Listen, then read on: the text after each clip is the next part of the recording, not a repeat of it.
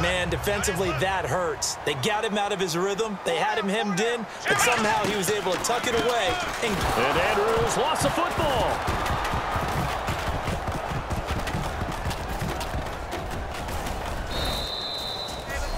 Wow, that ball gets knocked free, but a teammate comes along and scoops it up. Almost like, it's almost like baseball.